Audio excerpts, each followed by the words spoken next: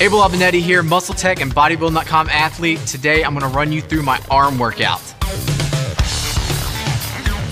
So during this arm workout, it's gonna be superset between biceps and triceps. It's gonna be completely different than what you're normally used to.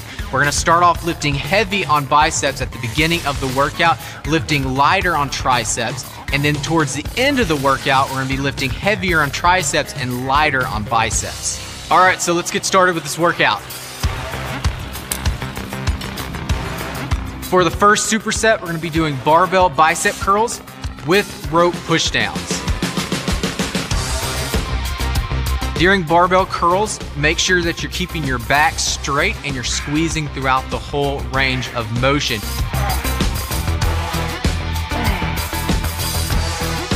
Now moving on to the rope pushdowns, we'll be going for four sets of around 12 to 15 reps. Make sure that you're going slow and controlled.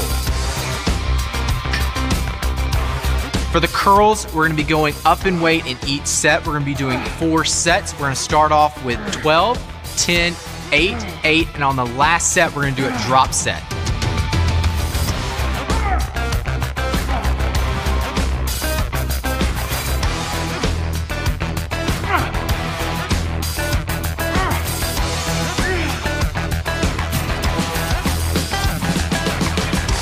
As I said, we're gonna be going with lighter weight here because we're gonna be pre-exhausting the muscle.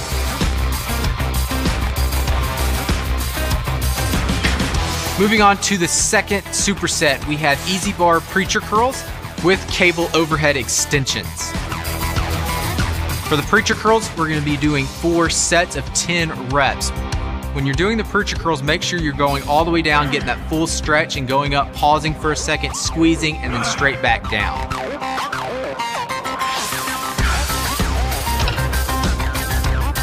For the cable overhead extension, we're gonna be doing four sets of 15 reps, but at the end of those reps, we're gonna be doing intra set stretching. What that is, you're gonna go all 15 reps, then you're gonna hold it the stretch for 30 seconds. After the 30 seconds is up, drop the weight, go for as many reps as you can, stretch again, and then drop the weight one more time, stretch another 30 seconds, and then that is the end of the set.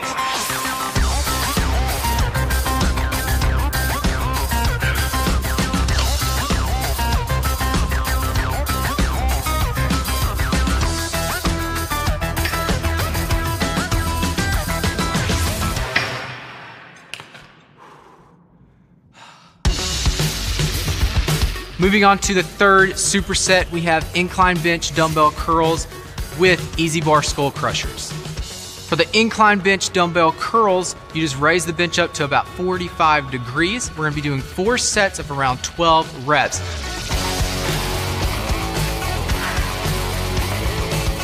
So now we're moving on to where we're gonna be using more weight for triceps. So we're gonna be going heavier and lowering the reps. We're gonna start off with four sets of 10, 8, 8, and 8. And on the last set, we're gonna do a drop set. For the incline bench dumbbell curls, on the fourth and final set, what we just got done doing on triceps, we're gonna do on biceps now. So we're gonna do three sets of 12 reps. The fourth set, we're gonna do the intra set stretching.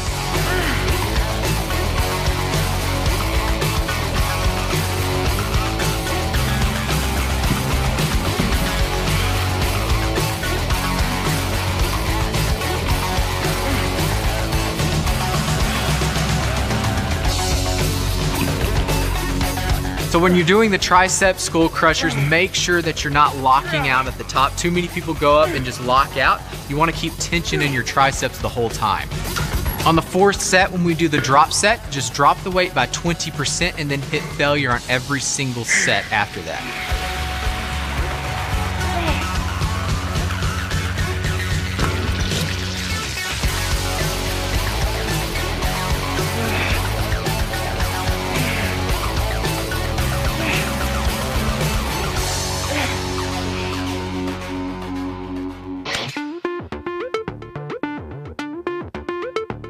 Moving on to the fourth superset, we have dumbbell hammer curls superset with dumbbell overhead extensions.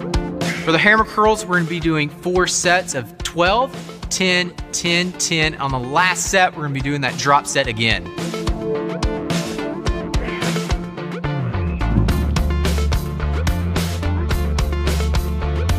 The dumbbell overhead extensions, we're gonna be doing four sets of 10 reps.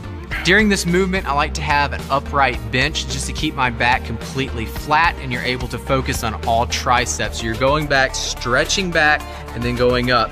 Don't lock out at the top.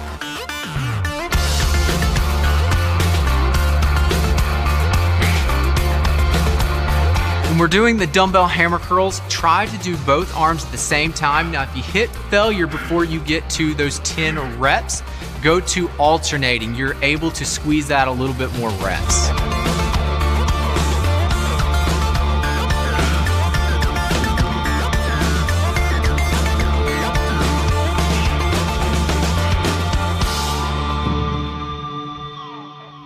Moving on to the fifth superset, this is gonna be different. We're gonna be incorporating blood flow restrictions. We're gonna be doing high cable curls with tricep extensions, doing four sets of 15 reps on both exercises. So for blood flow restrictions, there are bands made just for this purpose, but if you don't have those, you can just use any kind of bands. So what you do, you get your band as high up as you can, and you want the tightness around a six or seven out of 10.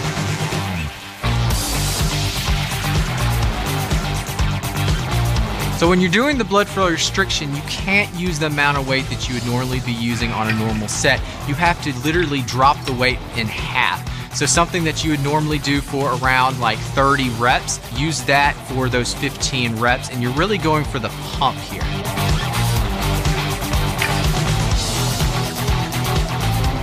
We're gonna be finishing off this workout with a giant set. We're gonna be doing three sets of 12 reps on every exercise. We're gonna start off with the EZ bar overhand curls with dumbbell kickbacks, and then we're gonna finish off the workout with close grip push-ups.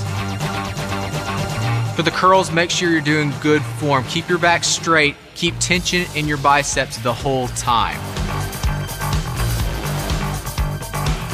So for the dumbbell kickbacks, use a weight that you can get those 12 reps on and that you're squeezing in the back of that movement and pause for a split second.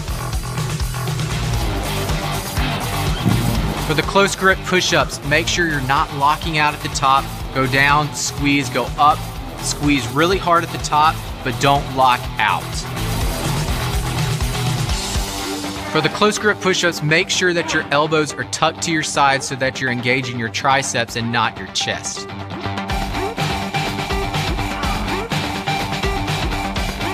I like to incorporate this workout every two weeks. One workout I will do where I'm not superset in biceps and triceps, and then this workout is great because it ties them in together.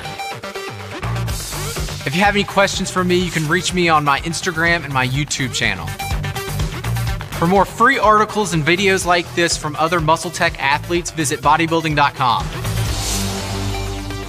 If you liked the video, please give it a thumbs up and be sure to subscribe.